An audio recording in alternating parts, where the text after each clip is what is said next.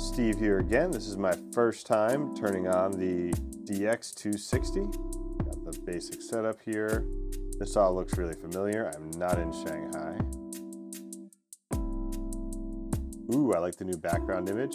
So far the device feels pretty smooth and responsive.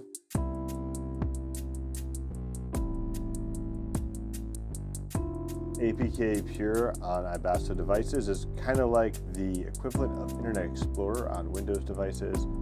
It's what you use to install a better app store.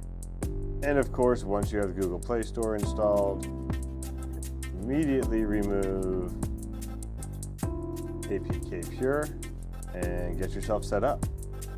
Initial impressions are it's uh, just as fast as responsive as I was expecting from a new DAP from Ibasso, and we'll hit you guys real soon with some sound impressions.